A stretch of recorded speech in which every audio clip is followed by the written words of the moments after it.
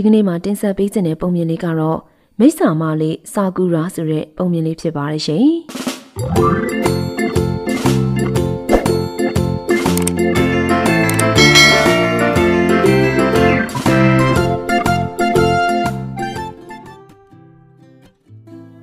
တခုသောညနေခင်းမှာ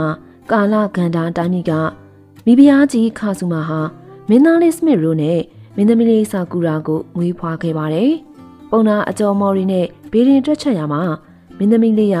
ကောင်းချင်းများစွာနဲ့မွေးဖွားလာတဲ့သူဖြစ်ပြီးတနေ့မှာတော့ဘရင်မပြစ်မယ်လို့ဟောတော်မူပါတယ်။ဘရင်ကြီးရဲ့သမီးလေးကလှလိုက်တာနော်။ဘရင်မပြစ်မဲ့ကံပါလဲဆိုတာဟုတ်လောက်တယ်။ငါသားလည်းအချောပါကွ။ငါသားကြီးလာရင်ငါလိုရဲစွမ်းတတိနဲ့ပြည့်စုံတဲ့ဘရင်တစ်ပါးဖြစ်မှာကွ။မင်းသားလေးစမစ်ရိုကအသက်၁၈နှစ်ပြည့်တဲ့အတွက်အထာရတ18ရက်တင်ကြဖို့ဒီတာပေါမောက်ခစီစေလွတ်ခံရပါတယ်။ မင်းသားကဘယ်တိုင်းမီကားများလဲကျွန်တော်ကတော့ခက်ကန်တာတိုင်းမီကားပါမင်းသားလေးဟာကျူရီပါကျွန်တော်ကကာလာကန်တာတိုင်းမီကားမင်းသားစမစ်ရိုပါဗျဒီလိုနဲ့မင်းသားစမစ်ရိုနဲ့မင်းသားဟာကျူရီတို့ဟာအရင်နှီးဆုံးတငယ်ချင်းတွေဖြစ်သွားကြတယ်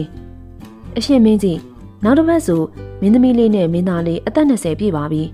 အဲ့ဒီတော့မင်းသားလေးကိုလည်းပြန်ခေါ်ပြီးဝင်းနေပွဲကိုစီစီကားကားပြုလုပ်တင်တယ်လို့ထင်ပါတယ်။ကောင်းပါပြီဝင်းမင်းတို့ မင်းသားစမစ်ရိုကိုအကြောင်းကြားစေ။မင်းသားဟာ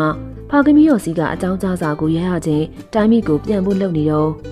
နောက်ကြည့်ဘာလို့အထုပ်တွေအလင်းမြန်ထုတ်နေရလဲ။နောက်တစ်ပတ်ဆိုကျုံနဲ့ကျုံကျမလေးတို့ရဲ့မွေးနေ့ရောက်ပြီဗျ။ကျုံလဲပညာဆုံးပြီဆိုတော့ပြန်တော့မယ်။အိမ်ကိုလည်းလွမ်းလာပြီ။ဒါဆိုညောင်ကြီးစီကိုကျုပ်အလဲလိုက်ခဲ့မယ်လေ။ကျုပ်ကိုခေါ်မယ်မလား။မင်းသားသာလိုက်ခဲ့လို့ကတော့ကျွန်တော်ကဝမ်းသာတာပေါ့ဗျာ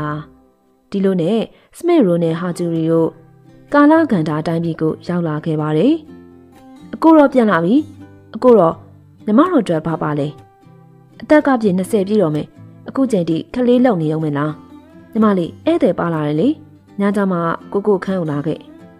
တောင်းမှပါတယ်ညီမမမြင်လိုက်လို့ပါညီမနာမည်စကူတာပါအကိုနာမည်ဟာ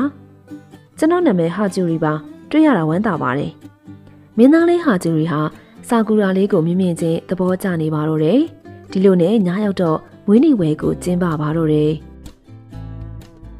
စမစ်ရိုမင်းညီမလေးဘာလုပ်နေရလဲမသိဘူး။အခုချိန်ထိထွက်မလာသေးဘူး။ညီမလေးကိုသွားခေါ်လိုက်ပါဦးကွယ်။ဟုတ်ကဲ့ပါမေတော့။ဟာဟာခမီးရောက်နေမေတော့လောက်ကြပါဦး။မိဖုရားကြီးရောဘရင်ကောဟာဂျူရီပါသွားကြည့်ရောမင်းသမီးလေးအခန်းထဲမှာအချွေရနေအကုန်လုံးတိတ်ဆုံးနေပါတော့တယ်။သမီးဒါဘလို့ဖြစ်ရလဲ။သမီးမသိဘူးမဲ့တော့ သမီးအင်ကြီးသွားလဲနေတော့ပြန်ထွက်လာတော့အဲ့ဒီလိုဖြစ်နေရပဲ။မသေးကောင်းမပြောက်ကောင်းမင်းသမီးလေးရဲ့။ပွဲမှာမင်းသားလေးဟာဂျူရီနဲ့မင်းသမီးလေးစာကူရာတို့ကတွဲကားကြပါတယ်။ Hey housemate မင်းညီမလေးကခုနကငါတွေ့ခဲ့တဲ့ဟာနဲ့မတူပဲနောက်တစ်ယောက်လိုခံစားနေရတယ်။မင်းကလည်းစိတ်ထင်တာနေမှာပါ။အမှန်တော့မင်းသမီးလေးစာကူရာကို မိစ္ဆာမဖမ်းဆီးပြီးတော့မိစ္ဆာပြည်မှာအကျဉ်းချထားပါတယ်။အခုစာကူရာနီယာကမိခလေးကတော့မိစ္ဆာမကြီးပါ။ သူကလာပြင်းနေညမှာသူ့ရဲ့တရုတ်မှန်ပေါ်ပါတယ်။ဒီလိုနဲ့လာပြင်းနေရောက်တော့စမစ်ရူဟာပန်းကြံတဲ့လက်လျှောက်ထွက်ရင်းနဲ့စာကူရာဟာမိစ္ဆာဘရင်မှဖြစ်သွားမှန်တွေ့လာရပါတော့တယ်။ဟာဒါငါညမလေးမဟုတ်ဘူးပဲ။ဒါကြောင့်ဟာဂျူရီကတမျိုးပဲလို့ပြောနေတာ။ငါဘယ်လိုလုပ်ရမလဲ။နောက်တနေ့မနက်မိုးလင်းတော့မိစ္ဆာမကိုကျိုးချီလေးရသားတွေ့လာရပါတယ်။ဟမ်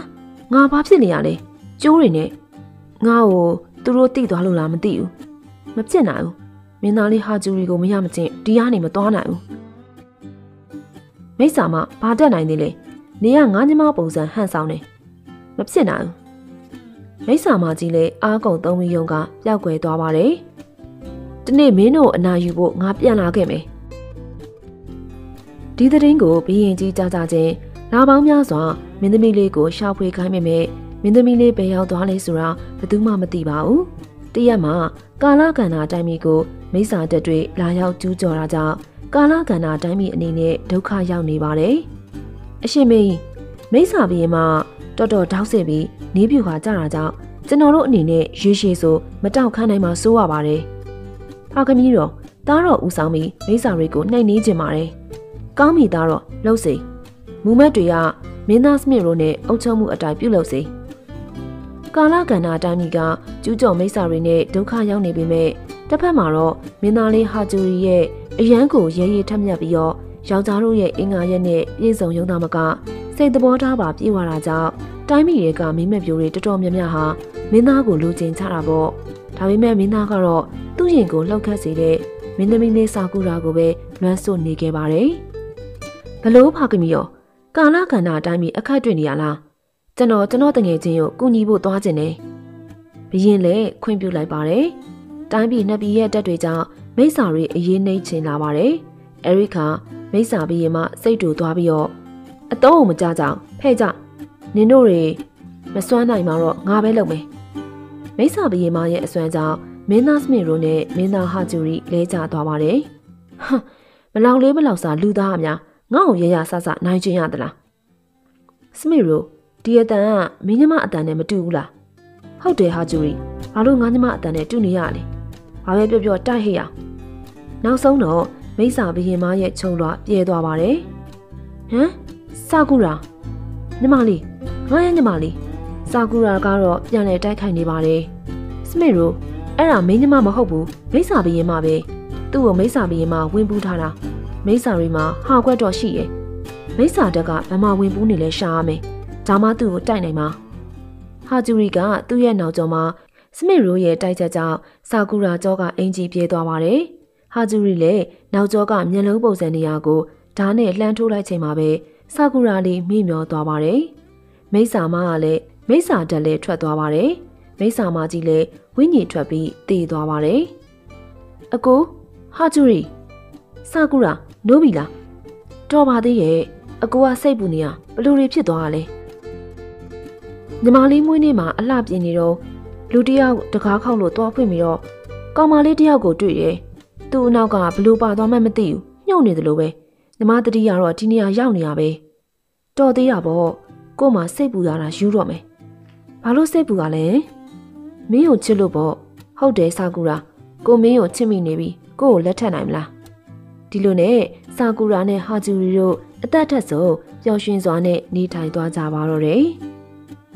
ဟုတ်ကဲ့ပါရှင်ပုံမြင်လေးကတော့ဒီမှာပဲပြီးဆုံးသွားပါပြီ။ပုံမြင်လေးကိုနားဆင်ပေးခဲ့လို့လေပရိသတ်များအားလုံးကိုကျေးဇူးတင်ပါတယ်ရှင်။